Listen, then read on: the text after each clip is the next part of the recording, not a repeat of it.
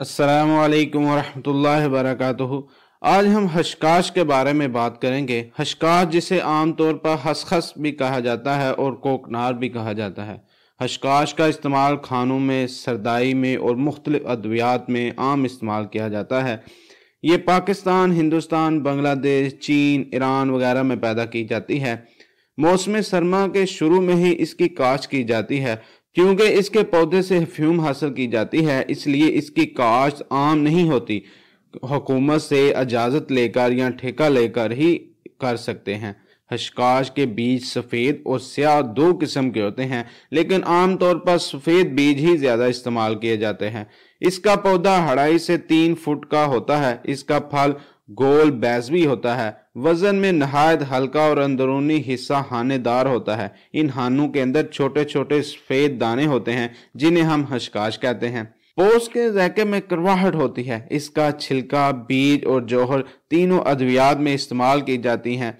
हशकाश का अमूमन मुख्तलिफ़ खानों में इस्तेमाल किया जाता है। खानों के इस्तेमाल के साथ साथ इसके बहुत से तिबी फ़ायदे में हैं। जिनको जानकर आप लाजमी इसका इस्तेमाल करेंगे, हमारी वीडियो को आहत तक लाजमी देखें और अगर आप हमारे चैनल पर नए हैं तो हमारे चैनल को सब्सक्राइब कर दें। मैं हूँ हकीम उमर और आप देख रहे हैं अलशवासदी की दुआना चैनल। हशकाश के अंदर बहुत से सेहत बख्श अज्जा पाए जाते हैं, जैसे calcium calcium, phosphorus, omega three, fatty acid folate zinc iodine iron और फाइबर पाया जाता है। इन अज्जा की वजह से ये बहुत सी बीमारियों से बचाने में हमें मदद फराम करता है।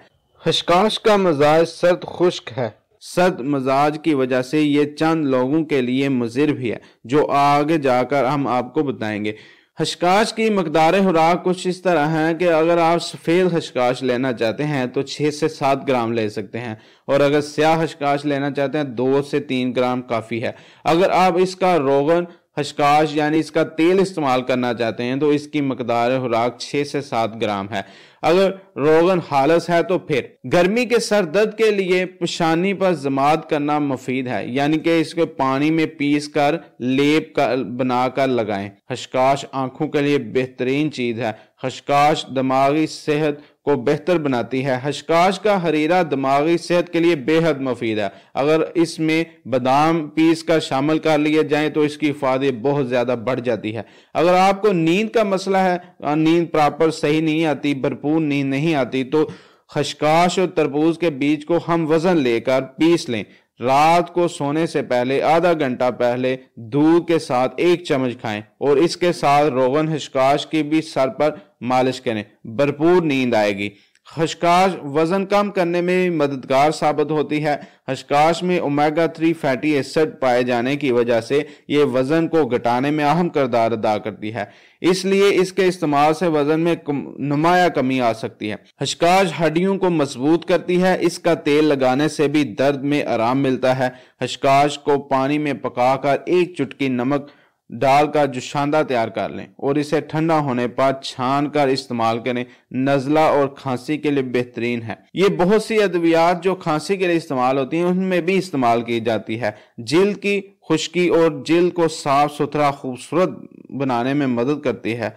खुश्क जिल्द से निजात के लिए अगर खुशकाश को पीस कर इसमें दूध या शहद या फिर दही मिलाकर जिल्द पर लगाएँ तो जिल्द नरम और मुलायम हो जाती है। मगर एक वक्त में इन तीनों में से एक ही चीज़ मिलानी है। या शहद मिला सकते हैं या दूध मिला लें या फिर दही मिला लें। सर की खुश्की एक अहम मसला है क्योंकि इसकी वजह से बाल जड़ने का अमल तेज हो जाता है और बहुत ज़्यादा लोग इस मिसाइल से दो चार हैं। इसके लिए हशकाश को पीस कर दही में मिलाकर इस्तेमाल करें। खुश्की ठीक हो जाएगी। इसके अलावा रोगन हशकाश को भी इस सर पर इस्तेमाल करें।